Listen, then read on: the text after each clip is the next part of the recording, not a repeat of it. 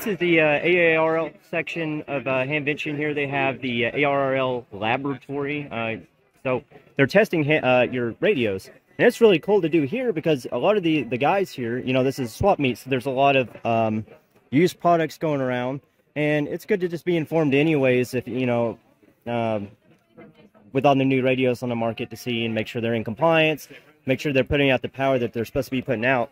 But uh, so these guys here are actually connecting the FT60R that I just bought. Um, and so if you could tell me a little bit about kind of what you're testing for. Yeah, we're testing for spurious emissions to be in uh, whether or not we are in FCC compliance.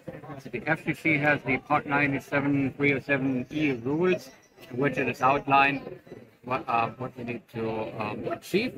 For example, at the 5 volt power level, um, we need to be 53 decibels below the carrier to be in compliance with the FCC rules. And that's what we're testing today.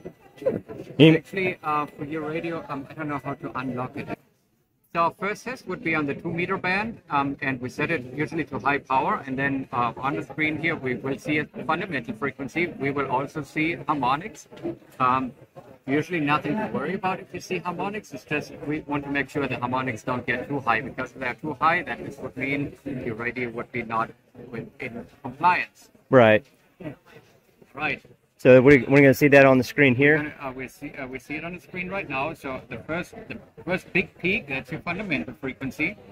We can see that the second harmonic is on about minus 70 decibels down, which is very good. The third one is at even him, yep, 65 down, and fourth one minus 75 which is really good because since this is a 5 watt radio, again, we need to be at minus 53 dB or below. And we can see that we're full compliance here. Typically, we also run a test on 440. By the FCC rules, we don't really need to because it really doesn't cover anything above 220. hmm But I didn't know that. I want to see like how good the um, or how clean the signal is. So same test here, 70 centimeters, and we can see the second harmonic at about minus 70 dB.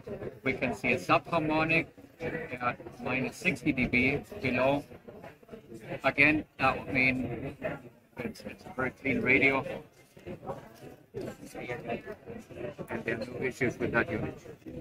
Well, thank you very much for that. I appreciate that. You're very welcome. Um, have you all seen a lot of radios that come through here that weren't in compliance as you've been doing this? We have seen some uh, okay. which were not in compliance, but Yeah. it's really a hit and miss because some of those they work pretty fine, some of those they don't. Gotcha. Hey, Uh, I, I appreciate it, guys. Thank you so much for that.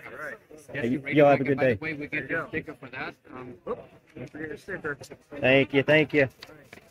Cool. Got the radio tested. They gave me this uh, neat little sticker that tested by the ARRL lab. But uh, yeah, that, that was that was pretty cool. But this is just a short upload. Just wanted I just thought that was pretty neat that they're offering that and it's free. You don't have to have a membership or anything. So thank you guys for watching and 73.